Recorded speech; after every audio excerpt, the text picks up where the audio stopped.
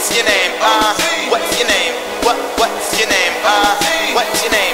What, what's your name? Uh, I really do think you can be the one. I started out as a writer and as my flows got tighter I went from standing in ciphers to getting paid like a piper They say my mouth is a sniper, venomous like a viper And just like the shot, I've been baptized by the fire.